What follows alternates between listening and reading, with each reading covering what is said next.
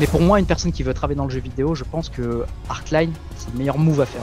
D'avoir des personnes qui sont à même euh, de nous driver euh, en mentor et qui connaissent euh, vraiment actuellement ce qui se passe dans le milieu, c'est vraiment, vraiment ce qui m'a fait aussi choisir Artline à l'époque.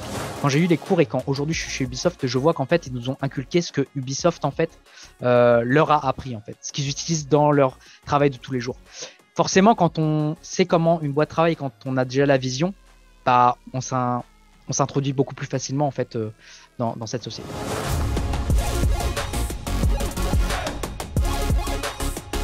Je me présente, je m'appelle Cédric, j'ai 31 ans. De base, je travaillais dans l'événementiel en tant que chargé de production.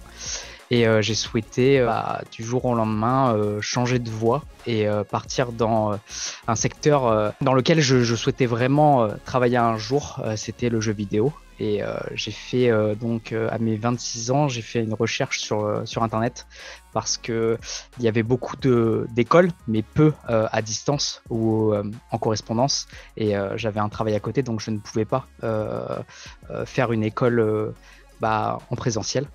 Et je suis tombé par hasard vraiment sur, sur Artline et la possibilité de faire en distanciel tous les cours. Et c'est ça qui m'a attiré. Et, et après, euh, après avoir contacté euh, Artline et le responsable pédagogique, euh, on, a, on a décidé qu'on pourrait faire un bout de chemin ensemble.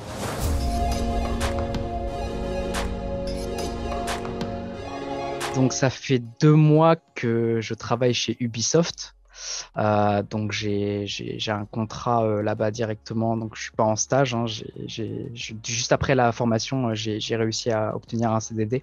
Donc actuellement, je suis rattaché au projet euh, Mario et Lampin Crétin euh, Spark of Hope, euh, le prochain opus qui sort courant 2022.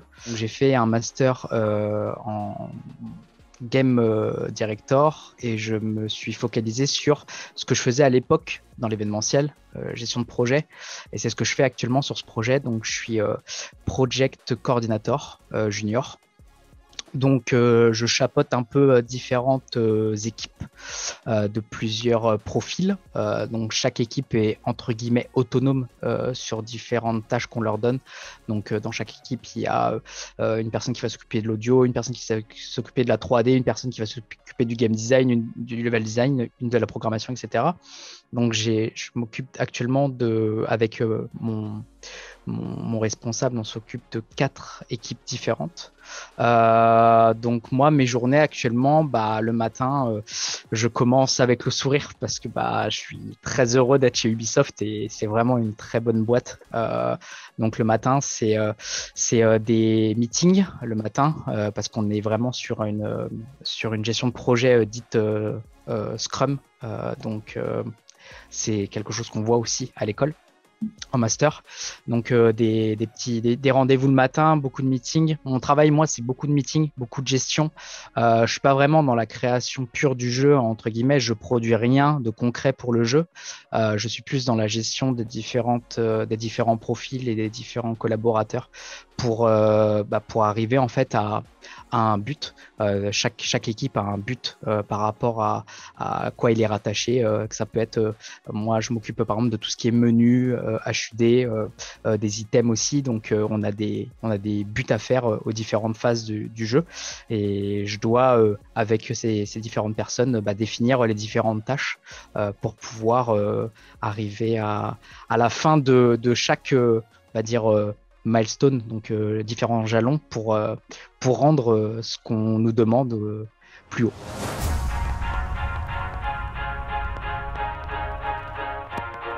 En fait, j'aurais pu tenter directement de rentrer dans un studio de jeux vidéo.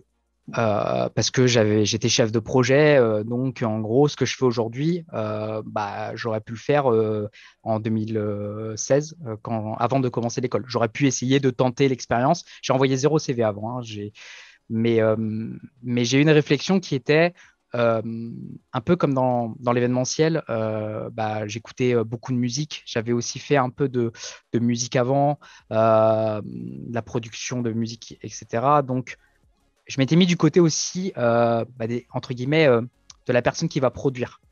Euh, enfin, produire quelque chose de concret, plus que de la personne qui gère. Je voulais avoir ce même aspect en fait dans le jeu vidéo. Je voulais passer par le bachelor game design level designer pour vraiment bah, savoir ce qu'il en découle en fait la création d'un jeu. Parce que en tant que chef de projet, avoir cette appétence GD LD aujourd'hui m'aide énormément par rapport à d'autres chefs de projet que je, côtoie.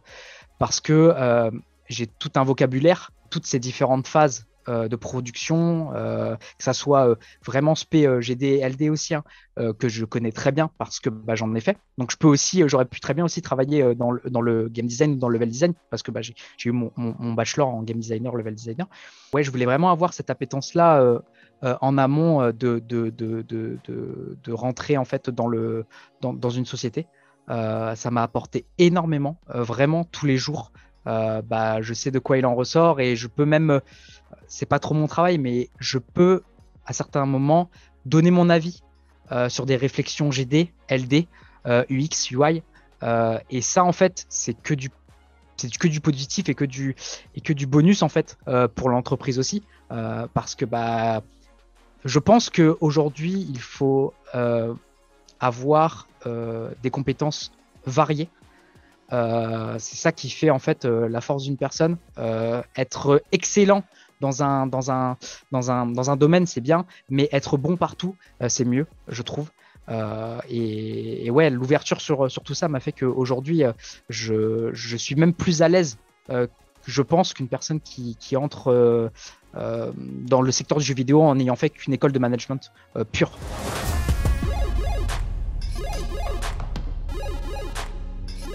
Ça, c'est quelque chose d'hyper important. Le fait de ne pas avoir des professeurs, mais d'avoir des personnes qui sont euh, dans le milieu actuellement. C'est des personnes en fait qui sont à même de nous dire aujourd'hui ce qui se passe. Euh, je connais des écoles où c'est des professeurs qui font que ça, euh, qui ont arrêté depuis 5-10 ans. L'environnement, en fait, le, comment dire, le, tout, tout, tout l'aspect jeu vidéo, toute l'industrie du jeu vidéo évolue très rapidement c'est vraiment euh, incroyable. Moi, je le vois encore chez Ubisoft, euh, Ubisoft hein, et eux qui voient euh, sur des années, on a toujours une vision sur les prochaines années. Le jeu vidéo évolue très très vite. Même la production d'un jeu vidéo évolue très très vite. Il y a beaucoup de changements à l'intérieur de celle-ci. Il, il, y a beaucoup de nouvelles choses qui sont mises en place pour pouvoir bah, créer aussi, bah, prendre en compte aussi les, chaque personne, le bien-être de chaque personne, parce que c'est quelque chose dans le passé qui a été euh, bah, beaucoup mis en, lumière euh, dans différents, euh, différents documentaires, journaux, etc. Aujourd'hui, ils font beaucoup beaucoup plus attention au bien-être de, de, nous en fait, parce que bah voilà, on est aussi des personnes et ça se ressent énormément. Donc, d'avoir des personnes qui sont à même de nous driver en mentor et qui connaissent vraiment actuellement ce qui se passe dans le milieu, c'est vraiment c'est vraiment ce qui m'a fait aussi choisir Artline à l'époque plus, on a eu des bons mentors. Franchement, on a eu des, très bons mentors. On a eu Marc Albinet. Euh, enfin, on en a eu, on en a eu tellement. Je pourrais même pas. J'en cite, euh, j'en cite deux trois. Je vais en oublier cinq, six derrière. Donc, je citerai pas tous, mais il y a. Je crois sur le site internet, il y a la, la liste de, des mentors. Mais euh, ouais, on a eu énormément de bons mentors. Ça, c'est vraiment quelque chose de super. des personnes qui sont ouvertes aussi avec lesquelles on peut discuter.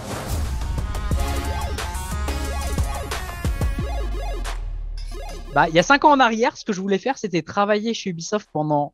Ou, bah, oui, pour moi, c'était que Ubisoft. De toute façon, je voulais vraiment que travailler chez Ubisoft.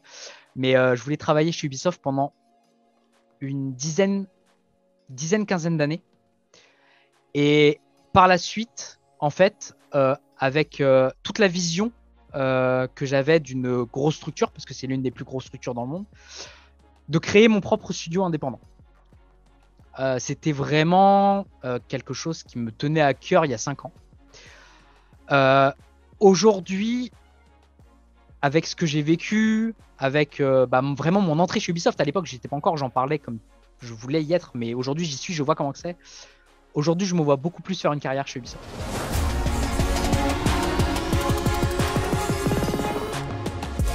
Que déjà, beaucoup de personnes m'ont dit non, mais je suis trop vieux il n'y a pas d'âge.